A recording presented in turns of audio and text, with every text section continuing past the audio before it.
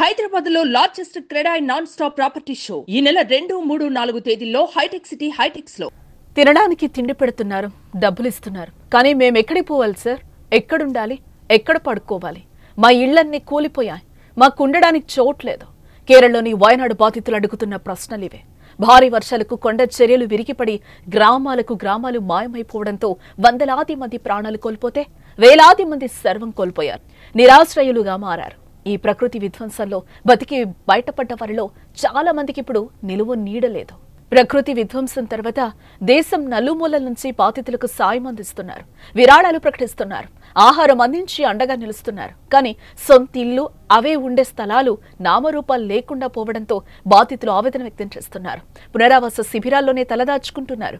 తమకు గూడు కావాలని వేడుకుంటున్నారు. అయితే ఆర్థిక సాయం అందించడమే కాదు వారికి ఇళ్ళను కట్టించుకోవడానికి భూమిని కూడా దానం చేస్తున్నారు కొందరు దానకర్ణులు.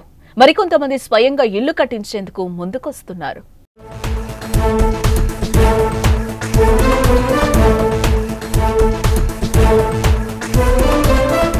బాధితుల కోసం సురక్షితమైన ప్రాంతంలో కాలనీ నిర్మించేందుకు ప్రభుత్వం చర్యలు చేపట్టింది. సాధ్యమైనంత తొందరగా వారికి పునరావాసం కల్పించే ఏర్పాట్లు చేస్తున్నారు. మరోవైపు బాధితులకు భూములను విరాళంగా ఇచ్చేందుకు ఇళ్ళు కట్టించి ఇచ్చేందుకు అనేక మంది దాతలు ముందుకొస్తున్నారని సీఎం పినరై విజయన్ తెలిపారు. అలాంటి వారి నుంచి విరాళాలను సేకరించి బాధితులకు అందించేందుకు హెల్ఫర్ వయనాడు పేరుతో ప్రత్యేక విభాగాన్ని ఏర్పాటు చేస్తున్నారు. వయనాడులో విషాదం జరిగిన వెంటనే స్పందించిన రాష్ట్రం తమిళనాడు. పక్క రాష్ట్రానికి తమ వంతు సాయం అందించారు సీఎం స్టాలిన్. ఐదు కోట్ల రూపాయల సహాయం చేయడంతో పాటు సహాయక చర్యల కోసం ఇద్దరు ఐఏఎస్ అధికారుల నేతృత్వంలోని బృందాన్ని నియమించారు. కేరళతో సరిహద్దు పంచుకుంటున్న కర్ణాటక కూడా సాయానికి ముందుకొచ్చింది. కర్ణాటక ప్రభుత్వం వంద ఇళ్ళను కట్టించిస్తామని ప్రకటించింది. అలాగే కాంగ్రెస్ పార్టీ అధ్యక్షుడు రాహుల్ గాంధీ బాధితుల కోసం రాహుల్ గాంధీ వంద ఇళ్ళు నిర్మాణం చేపట్టనున్నారు. ఓ వ్యాపారవేత్త కూడా బాధితులకు ఇంటి స్థలం దానం చేసేందుకు ముందుకొచ్చారు.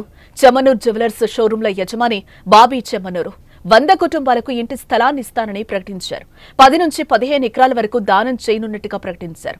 అవసరమైతే అంతకంటే ఎక్కువ భూమినైనా ఇవ్వనున్నట్టు చెప్పుకొచ్చారు.